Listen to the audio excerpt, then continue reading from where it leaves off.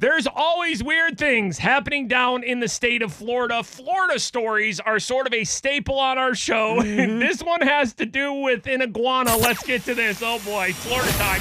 Attention, all listeners of the Freak Show. It's time to travel to the Sunshine State. Yes. It happened again. It's another Florida story. A Florida man was left bruised and bleeding after an iguana fell on his face during a yoga class in Miami. How does that even happen? Now, I know that down in Florida, when they get when it's cold down there, right? Right, right. When the temperatures drop in like the 40s or the 30s overnight, Yeah. iguanas will like freeze up and start falling out of trees. That's a pretty common thing down in Florida, especially like southern Florida. They're not right? dying. I think it's just something with their body. Yeah, like their it's almost body, like a hibernation. Yeah, their body like shuts down and be like, all right, wake me up when it warms up a little bit here. right. That's not the case here, though. The instructor of the class told the Miami New Times that their class was held on a really beautiful day.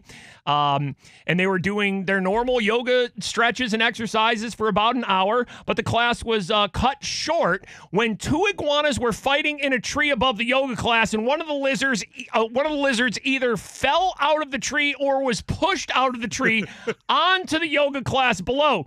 The instructor was live streaming the class and said, "Guys, I think we're going to uh, close the class. I'm going to take care of someone." Who just got an iguana dropped on his face? Iguana in their Florida man. face. Florida.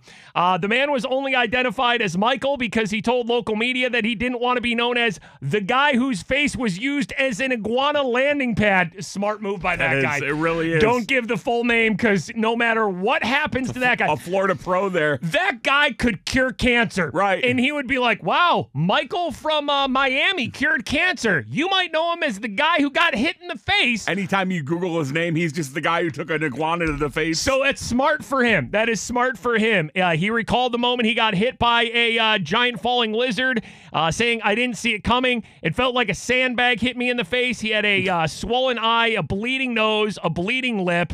And again, down in Florida, he's just doing a, a yoga class in Miami. There's an iguana fighting a tree above him, and then an iguana falls out of the tree, smacks him in the face. Can you imagine this guy? Like friends asking him, like, "Oh man, you get in a fight or something? like, what happened? what happened to your face? And he's like, yeah, I got I got smacked in the face by an iguana. It's like, what?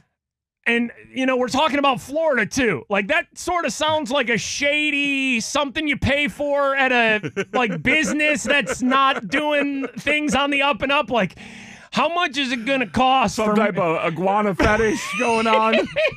how, how much is it gonna cost? Give me a whip with that tail. How much is going to cost me to pay you to uh, whip your iguana out and smack me with it? It sounds like a weird Florida thing that I don't really want to know about, but no, he legit got hit in the face and had a bloody bruised face because an iguana fell out of a tree and hit him in Florida during a yoga class. It is Florida making the show once again.